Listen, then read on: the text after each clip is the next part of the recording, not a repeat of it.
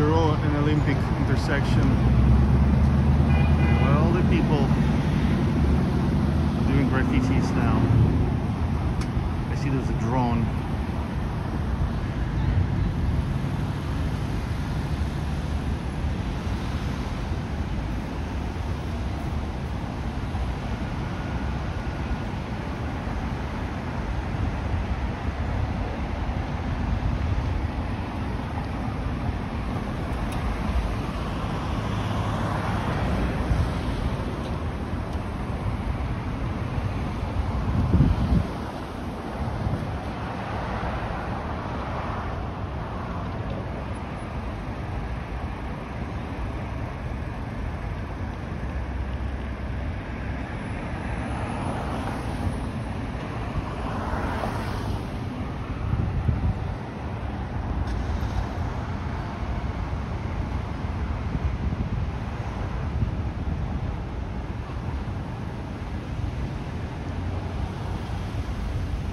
This is the one, and there's three, two more like this.